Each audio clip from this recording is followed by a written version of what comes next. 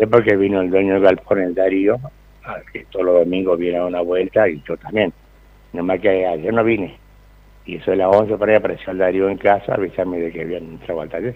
Claro, y Darío primero encontró todo su negocio revuelto. todo revuelto y después me buscó y me dijo, che Luis, mira que no entraba al taller, era tuyo, lo tuyo está todo revuelto ya. Y vine acá y vi, sí, había todo el pelote de cosas ahí. Y mirando así, primero me pareció que no había nada raro, había un par de herramientas que yo la tenía guardada y me la dejaron ahí arriba, no la llevaron. Después mirando, me faltaba la caja de tubo esa especial. ¿Lo único que te llevaron entonces esa caja de tubo?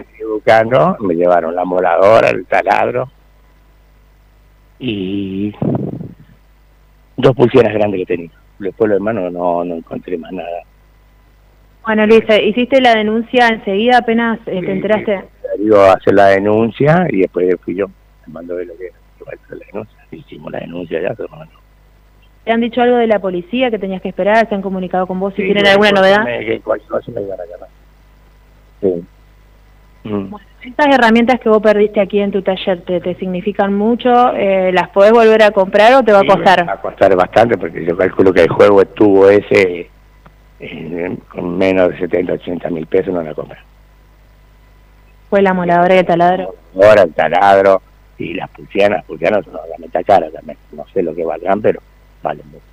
¿Es la primera vez que te sucede algo así? ¿Tú? No, jamás.